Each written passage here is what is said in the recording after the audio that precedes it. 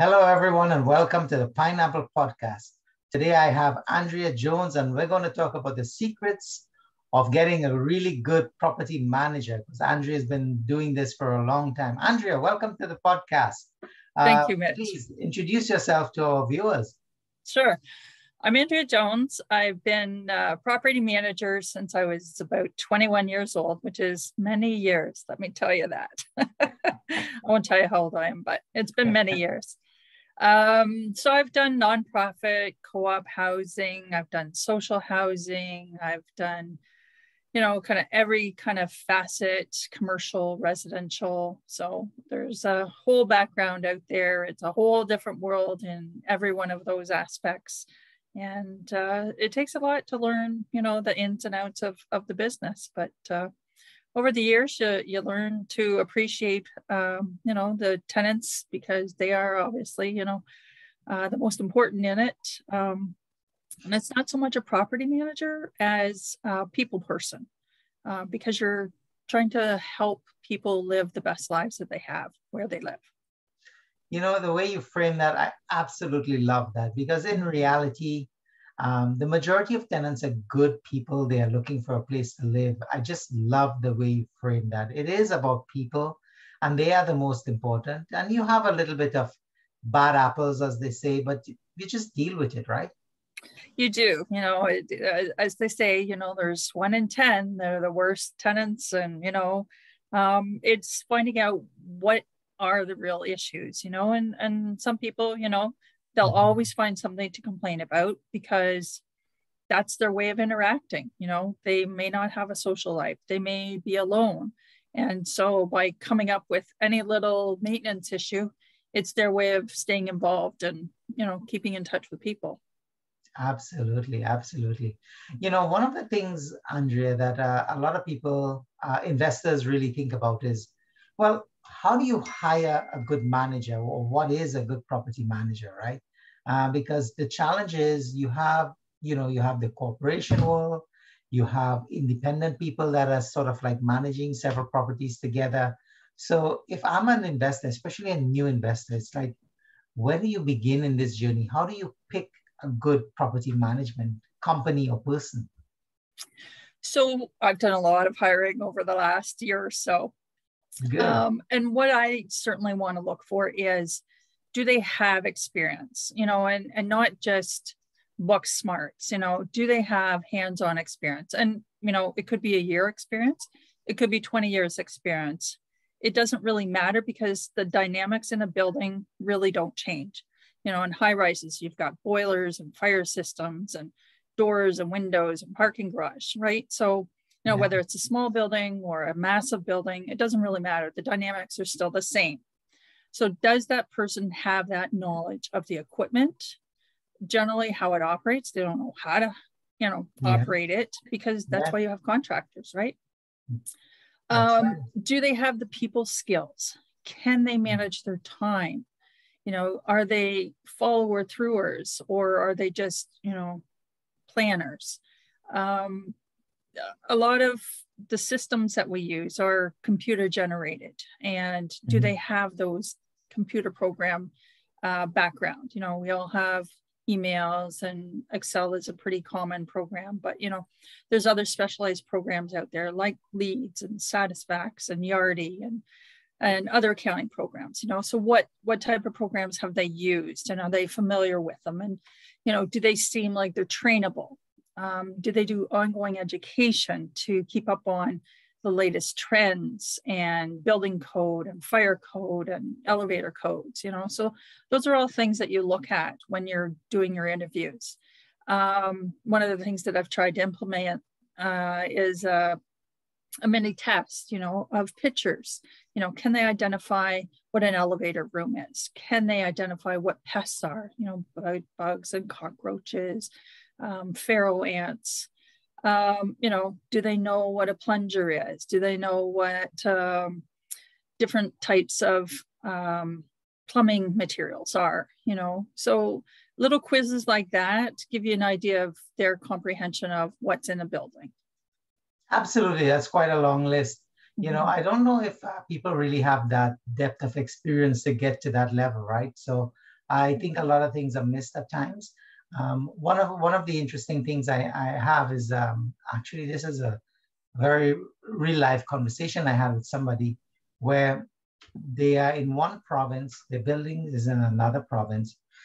They're using a property manager company, but they feel like they're getting gouged. They feel like, you know, they've set a term of any repairs up to $250. Uh, they don't need any permission. Uh, they feel like they've been getting bills up to $200 on a frequent basis. Uh, sometimes for things that they've they've spent a lot of money on, because for example, they did a big renovation, solved some electrical problems, plumbing problems, maintenance, spent something like 50,000. And they said they're getting bills for $200, you know, when they try to, to connect back with the property manager, question or get confirmation on things, they're shrugged off, right? So so it does have a lot of, um, you know, variables when it comes to people, which is a challenge in itself, right? So how would somebody, I don't know if it's structuring a contract is might be the right question, or rather, how would they they structure the agreement between property manager and landlord so that they get some good value? And if they're not working out well, what's the process to terminate somebody? Well, certainly you have to have your list of contractors and you have to go out and get your pricing. You know, if you have standard building stuff that you want uh, to be maintained, go out, get your three quotes.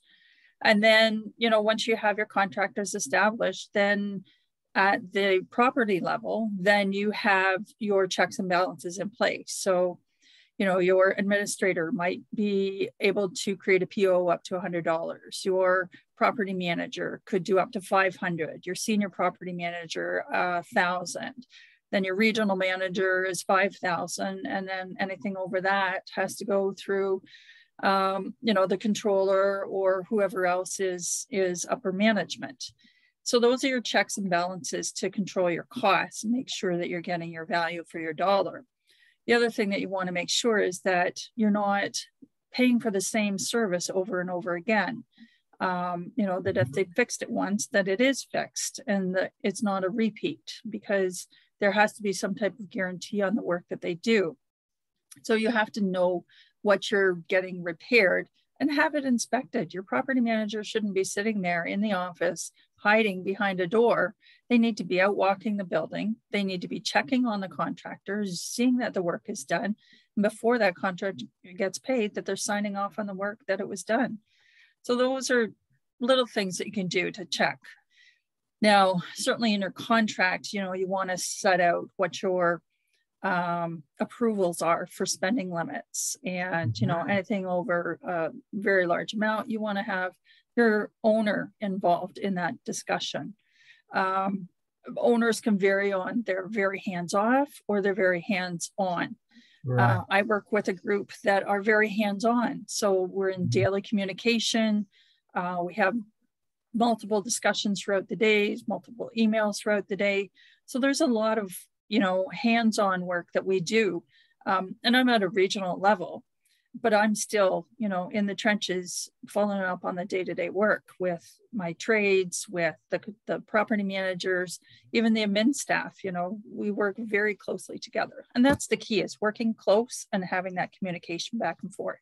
Because if you don't know what's going on, nobody else knows what's going on either. that is very true. You got to know your business, right? Uh, the, the investor sort of hands-off approach really doesn't work. You got to have some level of connection. You know, you got to check your bank account, make sure that the rents are being deposited. If you didn't see it uh, show up by the third or fourth day as, as expected, send an email, you know, follow up with a phone call, say, hey, what's going on? I didn't get this person's rent. Like, you know, and they may explain it. But the idea is they need to know that you are visible and that you're looking after your business, right? Yeah um, and now you were mentioning the rents that's yeah. a key thing as well you know mm-hmm. we have our staff that uh, you know do point of sale purchase right at the office so it's yeah. convenient for the tenants mm-hmm. um, you know rent is due on the first of the month on day two it's late and they need to be following up with those tenants that haven't paid um, doing those checks either in paper by your N5 notice or N4 notice um, to get your arrears collected, door knocking, phone calling, all those things to make sure that your rents are collected in a timely manner. Not only just collecting the rents, but getting it into the bank. You know, some of those tenants who might have fallen into arrears and have gone to LTB hearings, you know, they might have agreements in place. And if your bank deposits aren't on time, then when the accounting does the uh, checks, they might find that they're in breach and, you know, send it off to the tribunal to get a final order when in fact they did pay on time. So it's very key to get those deposits in on time because it can have a very big rippling effect for some other tenants. Absolutely. That's a key point. I'm glad you brought that up because, yeah, sometimes, uh, you know, you get a check, especially if some of the tenants are still old fashioned and they give you like 12, 12 checks. Don't sit on it. Don't go depositing it on the six or the seven because you forgot to put it in there first, right? That's right. Yeah. And just for our viewers as well, Andrea, probably give us a sense. How many doors are you currently managing with, with the with the corporation that you you run with? I have uh, 10 buildings or about uh, 2,800 units. Yeah, so that's yeah. that keeps you quite busy, right? Yeah, yeah. You know, they're all. I have a property in uh, Burlington. It's a commercial and residential plaza. Right. And the rest are all high rise, uh, 300 plus units. So it's it's wow. a big portfolio, but you know, I I totally enjoy the work. That's amazing. That is absolutely amazing, and that's why I thought you know bringing you on today would be of tremendous value to our viewers because the challenge is a lot of new people come in, they don't really know where to start, right? Like for example, if we have a building that's I would say maybe 15 doors and less, you can work with a property manager company that kind of groups other properties together. But if you're looking at 15, 20, 25, 50 doors, would it be better to have a superintendent there full time? Like, what's your experience or ideas around that? So I had a property, it was 18 doors. Uh, mm-hmm. It was a condominium. Um, the owners there, they they kind of oversaw everything that was going on. We have a handyman that would, you know, be assigned certain things. Uh, of course, you've got your regular maintenance and, and whatnot, but uh, you know, you'd have uh, the handyman keep an eye out on things when they're there. Um, I do drive-bys once a week just to, you know, make sure the property was okay. Um, but you know, if you've got a smaller property, um, definitely having a superintendent on board, even if it's part-time superintendent, mm-hmm. that's key. Uh, superintendents are your eyes and ears in a building, and they are super, super informative and key to any business in, in, in your uh, maintaining of your buildings. Um, some of them are very old school where they can do plumbing and electrical and troubleshoot practically anything. Some of them even just by listening to the noises that the equipment's making. It's like, oh, yeah, I know exactly what has to get done. Wow. And others are more just, you know what, I'm here and I'm going to guide the trades around the building to the areas that they need to go. I'm going to check on their work, you know, but more of the buildings are getting these building automated systems and a lot of it is just watching monitors and dials and making sure that the pressures are you know within the acceptable limits so having a superintendent that's knowledgeable in the old tech stuff as well as the new tech stuff is important. Absolutely. I mean that that's great advice for sure because i mean you know, we're coming into the space. And as you know, um, lately commercial, which is residential apartments, five doors or more, seems to be quite sexy in, in, in this uh, space right now. And people love it because again, it allows so much opportunities, right? You can fund it based on the property's financial performance. Um, it can generate cash flow. Uh, it covers a lot of expenses. It really establishes you as a landlord. So yeah. More and more yep. we've seen people coming in, right? Right. So the, the the key fundamental is they come in and we talk about okay, well, does the building have an existing property manager or, or do we need to find one? Or can we do it ourselves, right? So to me, the can you do it yourselves? Probably if you're into the duplexes, triplexes, even up to fourplex, I think that's where you can do it yourself because it's really phone calls, you know that the you pretty much will know the tenant uh, because you know there's just only a small number of those. You can interview them yourselves.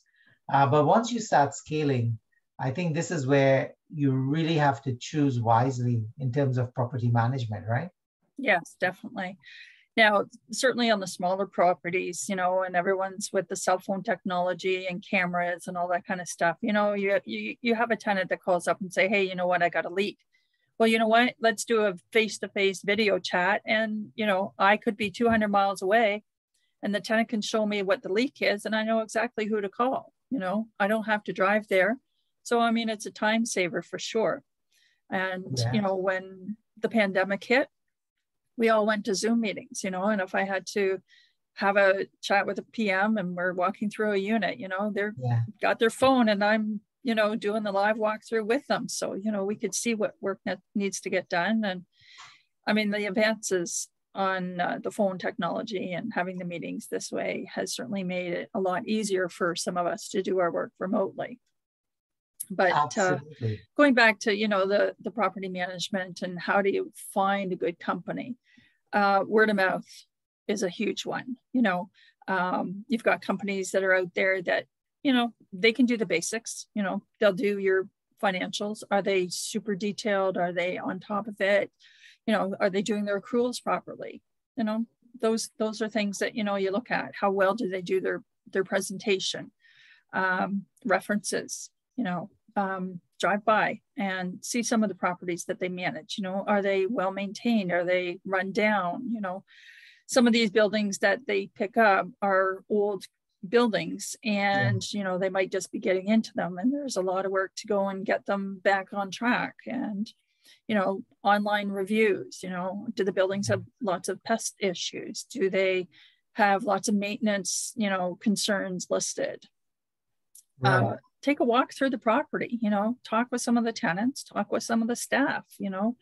They don't need to know that you're an owner or an investor or anything like that. You could just be say, hey, you know, tell me what you think about this property. You know, I might, I might, you know, want to invest here. You know, um, word of mouth is a is a big thing. Uh, the other thing that you want to look at is um, staffing reviews. You know, are there a lot of disgruntled staff? You know, how well do they treat their staff?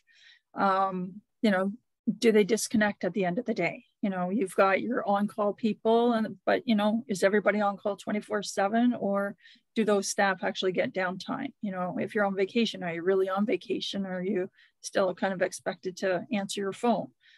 You know those are the questions that you know mm-hmm. you want to find out you know if there's a lot mm-hmm. of turnover is it because they're unhappy or are they getting burnt out? You know if you're working 24 7 seven days a week you are going to get burnt out that's right. Those are Absolutely. things that you know you look at. Um, you know, length of contract. You know, do you want to try them out for a year, see how they mm-hmm. do? Right. Um, you know, but you don't want to keep jumping property management companies. You want to try and establish a working relationship and make that a good working relationship. You're always mm-hmm. going to have your bumps and bruises right at the beginning. You know, it's like I want this report by you know the tenth of the day, but based on how things are progressing, you know, it yeah. might be more realistic for the twelfth day of the month, right? Absolutely. So, and, and number of reports as well. Yeah. You know, yes. they, I mean, we do lots and lots of reports. So, you know, how much of that reporting and how much information do they want to see every month? You know, those are things that you look at. Right. That's absolutely true. So that's on the day-to-day running of the business. A lot of uh, people as well or investors, sometimes we want the property managers to be doing the tenant placement, and maybe we can chat a little bit about that. So what is the expectation around the property managers? Because sometimes you have uh, companies that use real estate agents, they pay one month rent. Uh, property managers typically charge, I would say, anywhere from six to 10%. Uh, we've seen some people hire at 15%, 12%, and so on because they say they bring different value uh, in terms of the, the management. But in terms of tenant placement, I think, you know, for us, do we rely on the property managers to do that? Should we set it up with agents or should we do a bit of it ourselves? What's your experience in that? So again, it depends on how big your buildings are. You know, you can have yeah. your property manager kind of do it all if if you've got smaller properties. Um, mm-hmm. Do you have a marketing program in place? You know, do you do online advertising, Zumper, PadMapper, Kijiji, Facebook? You know, all yeah. those different mediums you know how much of that do you want to track? You know, do you want to want to know how many phone calls you're getting, how many emails you're getting?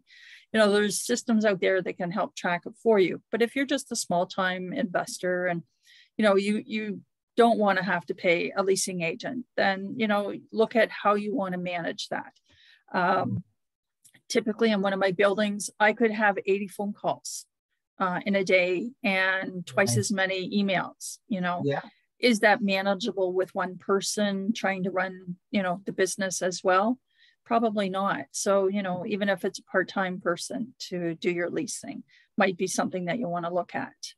Um, you know you've got your applications to process you've got your unit showings to complete you know if you've got someone on site that can do the showings that's great but if you don't then you have to book in you know your travel time to go to the properties um, another thing that you can do if you're, you know, hands off is have everything online and do virtual tours. Um, you can have the units set up with, you know, pretend furniture so that people can see how your units look and they can kind of place their own furniture in it if they want. Right. So, I mean, there's lots of things that you can do to help market your property. Leasing agents, you know, some of them could get commissions um, on top of a, a minor fee uh, for them to sit there and answer phones and do showings and that kind of stuff. Um, commissions, again, it all depends on what you negotiate. Um, you know, I, I, think on one of my properties, we're about $700 a commission, you know, but they also get, you know, a, a nominal fee for sitting in the office. Um, you know there, there's so many different ways that you can set up leasing and and um, you know if you're looking to have someone do it all you yes. really have to be able to count the number of doors. If you've got huge vacancies you're probably better off getting a leasing agent uh, to work for you. Absolutely. So i mean those are great insights for sure because it goes from okay let's do it ourselves get the marketing get the advertising get that done and understand what you're doing because now you're into uh, checking their job, making sure the job letter is accurate, uh, doing their credit check. So did they send you the credit report and, and are you looking at that, right? So there's a fair amount of evaluation for sure in terms of choosing the right tenant because ultimately yes. you got to choose the right one up front, right? That's right. I know in the industry, you know, they used to say, uh, well, in social housing, you know, it's only 30% of your income that, it, that you're paying but in the real world you know we're paying much more just because of the prices you know yes. um you know if someone's paying 55% of their income towards their rent they don't you know have much left and you know what's going to be the first thing that goes they're going to bounce the rent right because right. somehow out there it's well that's okay i'll catch it up but then next thing you know there are two months in arrears and three months arrears so doing your checks you know doing the your lease application, having those landlord checks done, you know, on where they're currently living or even past present um, residences that they've lived at. Um, doing your credit check, uh, what is the percentage? How much do they owe to credit card companies or vehicle loans? Or, you know, are there any collections that they have registered? You know, right. um, how many inquiries have they had on their credit check, right? You know, because that can affect their score. Um, if they haven't had many uh, credit checks done, then their score will be high. If they had lots of them, it definitely lowers the score. So you have to look at that, know how to read it. Um, you know, and that's something that not everyone knows how to read. It's like, oh yeah, sure, they got lots of income and no no issues, but you know, when they come right down to it, they might owe a lot in debt and still be right. able to manage. Um, you know, having those references checked, you know, if you're close by where they currently live, take a drive by. Do they maintain what they have? You know, I know there's certain questions that you can ask and certain questions you can't ask uh, when you're doing a landlord reference check. Um, right. But knowing how to word it is is mm-hmm. key. You know, um, have they had any bounce checks? You know, do they pay the rent on time? Those are the key questions. You know, do you have any concerns with their tenancy? You know, do you know if they maintain their property well? Right. Uh, you know, you can't get into, um, you know, do they have a criminal record or anything like that? You know, um, there's certain questions that you really can't answer, but uh, you, you do want to do your homework on your tenants because that can make or break you. Absolutely. I mean, once they're in, then it's your problem, right? So that's right. And so, sometimes it can be very difficult. to get rid of them. Absolutely. And I guess some of the things too is like, you know, this is where as a as a landlord, even if your property managers are doing everything for you, this is where you kind of do a recap, like talk to your managers, see what the interview process was for them. If there's any red flags, look at the reports yourself, you know, look at the credit scores, see if there's anything that's glaring to you because it's important to know, right? Uh, being a bit hands-on at certain points in time, I think is important, right? Uh, yes. You know, like we said, rent didn't come in, follow up because you're looking at your bank account on a certain day. Uh, tenant placement, yeah, you know what? If even if you contract the property manager to do everything for you, you take a final recap. So this way, they know that you're looking in, right? Because you know sometimes people want shortcuts and then it turns into a problem. So I think that's that's that's quite interesting. Now the beautiful thing is when you get the great tenant, they're paying on time. There's no issues. They're maintaining the place as their own because at the end of the day, it's their home, right? So those people are perfect. But what happens now when you get imperfect, imperfect uh, tenants, or maybe things change in their lives and suddenly the stress is falling on you because the building isn't kept properly. Maybe they're loud suddenly. Uh, they're out in the corridors. You know, there is a process for us as landlords to understand that you need to serve certain documents, especially in the regulated markets, which is pretty much across North America.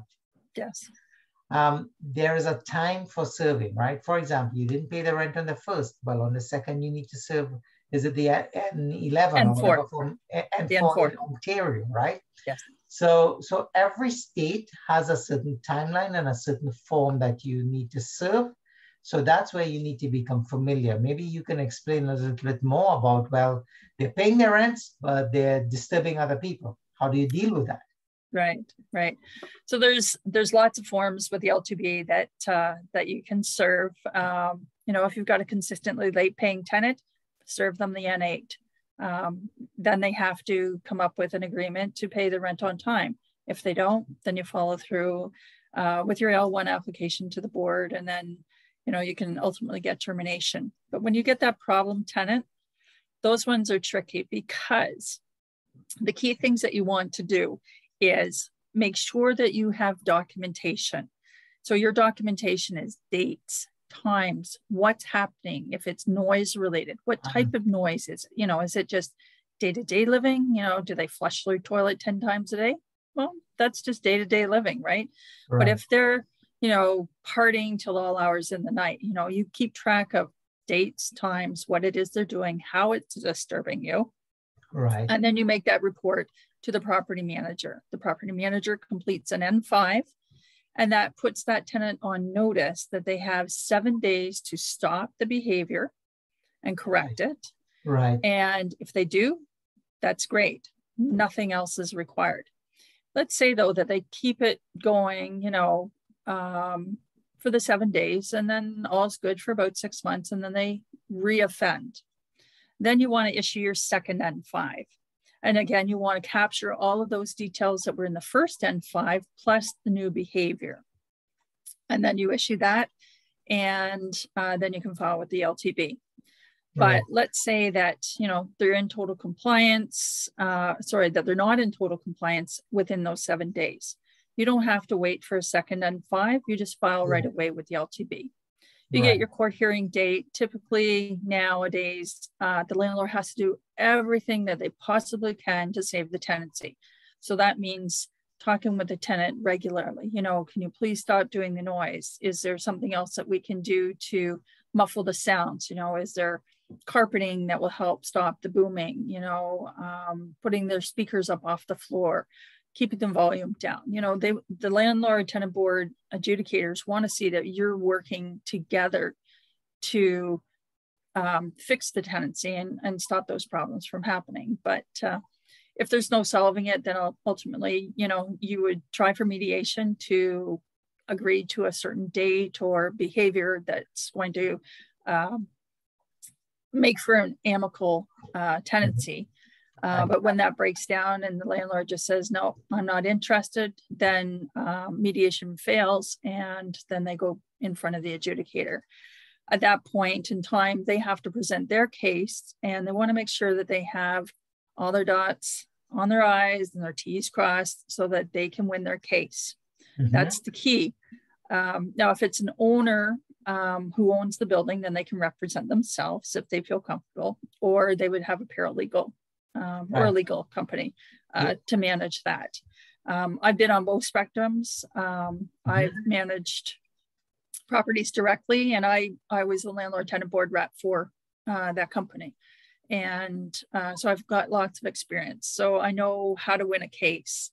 Um, you know, and again, it's having your documentation. Yes. If you have witnesses, you want to have those witnesses there. You know, if you have police involvement, you wanted to subpoena the police and their records so that they can wow. speak to any issues, you know, especially right. if the police are showing up at the property regularly. Right. Um, they can pull histories on what's going on with the property and they can give a good testimony. Um, mm-hmm. so, you know, don't hesitate to subpoena in witnesses or even the police to, to give your case the full attention that it needs to win.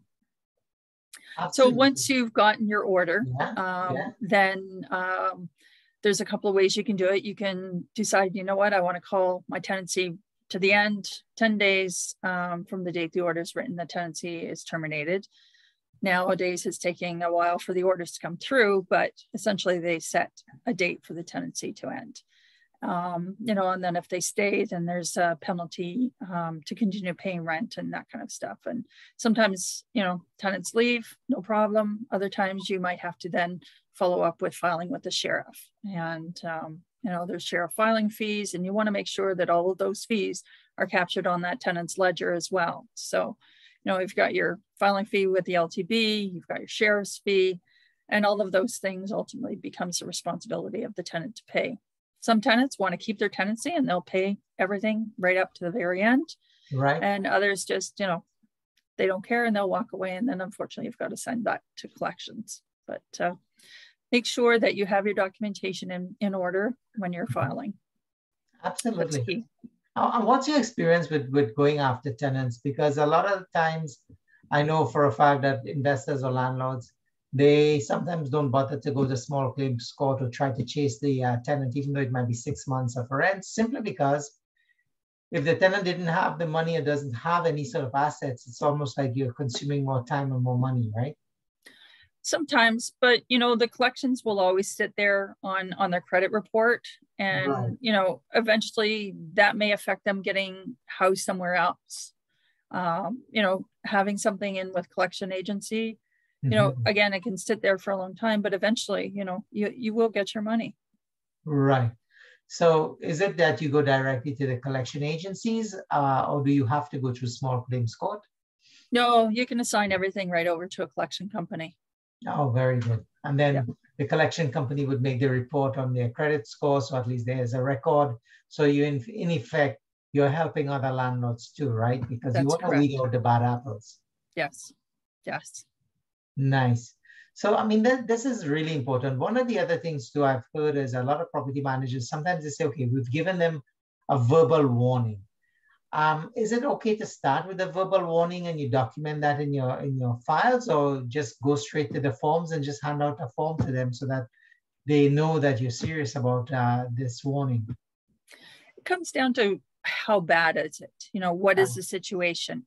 If you think that the tenant just isn't aware of what they're doing and you think that they'll be okay, absolutely. Yeah, yeah. You always you can always give a verbal warning, but make sure you document it so that when you do have to follow up, you can say, hey, on April 5th, I, I mentioned to you that, you know, you, you did this behavior and um, you were okay, but, you know, you've started up again. So now I'm, I'm sending you a written warning, you know, and again, you know, it's up to the landlord or, or their agent to determine, is this behavior going to continue? Is it serious enough that I need to go directly to the forms or not? You know, sometimes people forget, you know, and it's like, oh yeah, I read that and I forgot about it. So sorry, you mm-hmm. know, and you know, having it in writing can make it that much more serious.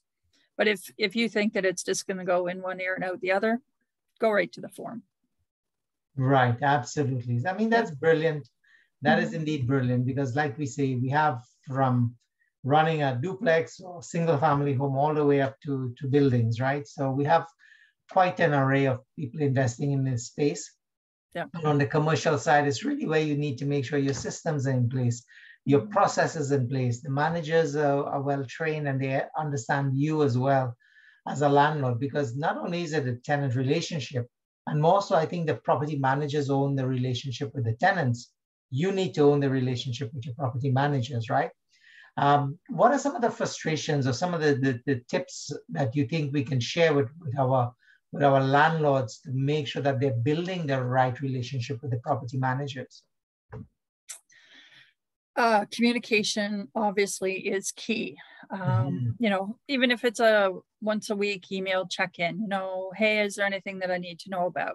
Um, right. Bringing serious issues to their attention is, is key you know, yeah. because that pinhole leak that you've ignored for two days suddenly collapses some tenant's ceiling, and you know now there's multiple thousands of dollars of damage. So, yeah. you know, being aware of what's going on, uh, keeping on top of maintenance, even small items, is, key.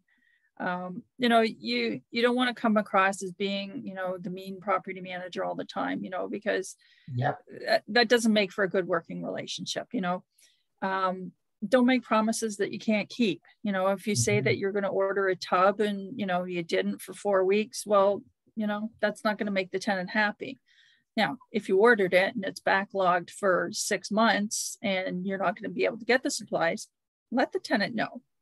Yeah. You know, let them know that there's a, a supply issue so that they're prepared and that you're not going to get yelled at because wow. there's nothing worse than being yelled at by a tenant and saying, oh, well, nothing I can do, you know.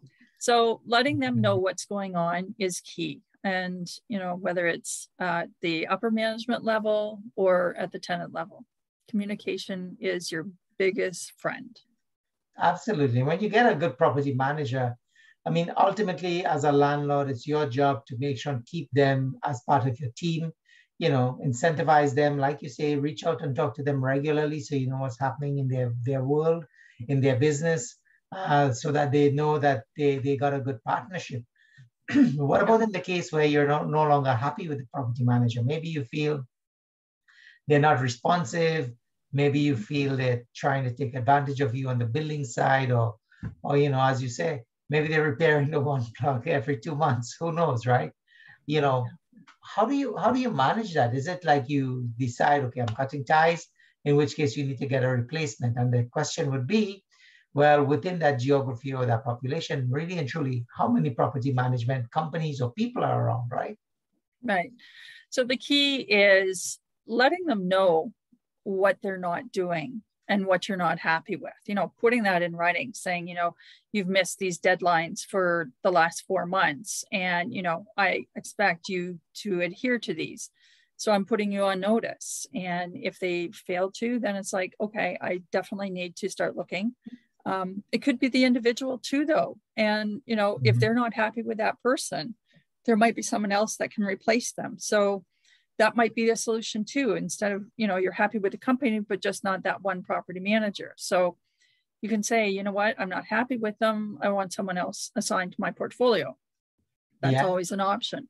But if you're definitely not happy with your property management company for whatever reason, whether it's, you know, the accounting, the paperwork, the follow up, things just not getting done in general, then you know you put them on notice, let them know what they're not doing. You give them a time frame to comply by, and you start your search. You know, if you know that you're definitely not going to uh, continue on with the relationship, you start your search as soon as you can.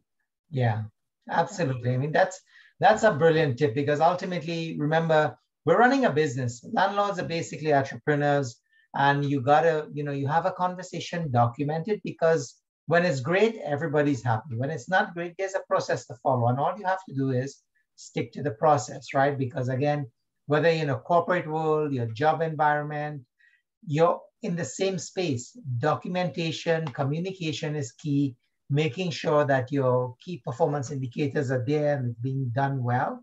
And ultimately, you know, both parties would be successful simply because they know you have clear expectations and you know they have clear expectations as well and once once once there's clarity on that the the relationship would work if it starts off bumpy don't get frustrated.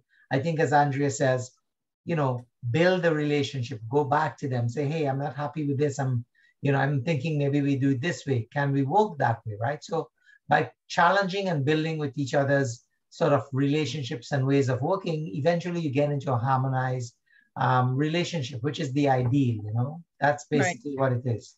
Right. The other thing to consider is, you know, and again, you have to make sure that you're familiar with what your contract says. You know, most contracts have an exit of 60 days, right? So yeah. you want to make sure that you give your proper notice. Um, that you know once you've given your notice and you know you're requesting all your paperwork that you know exactly what paperwork you need to be provided so that you're not losing records and missing information um, because the new management company will need all of that documentation you know yes. it, is everything scanned into the system do you still have paper files you know you want to make sure that everything is transferred over right. the other thing that exactly. you know you might have to look at is what about those employees? You know, are mm-hmm. they um, employees of that management company or are they employees of uh, the landlord under a different company?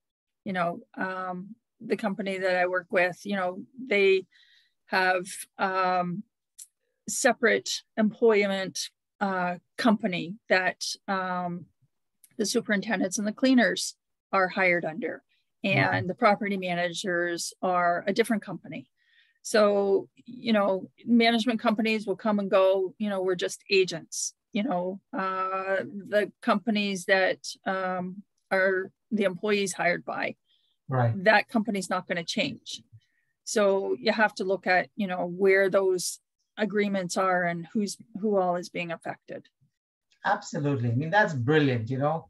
Andrea, I must say thank you very much. The, the conversation today is, is amazing. I think we could go on forever uh, you do bring a lot of value in terms of, um, you know, in terms of the expertise and the experience that you have managing uh, so many properties for so long. So again, you know, want to thank you. I want to thank you on behalf of the viewers. Uh, if viewers wanted to get in contact, contact with you, we'll share your email information in the comments down below. Okay. Sure.